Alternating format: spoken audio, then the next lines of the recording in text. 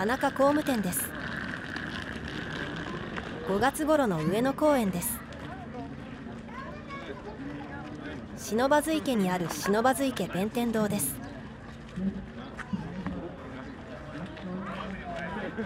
この道をまっすぐ行くと清水観音堂です。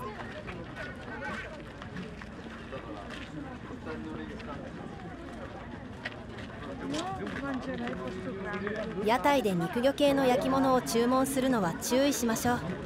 主はお腹壊したことがあります。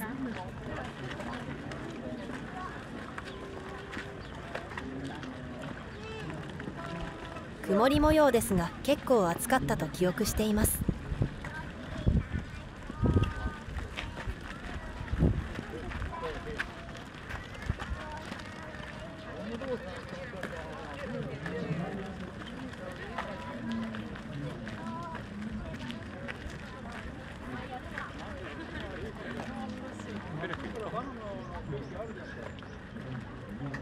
この橋の下には亀がいっぱいいます。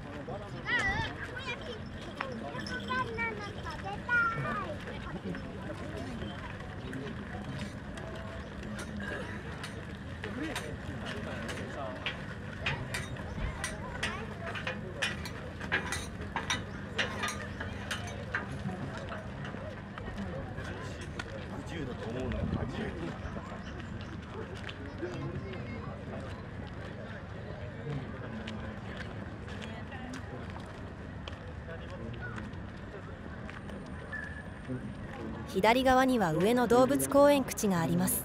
パンダ舎が入って少し行ったところにあります。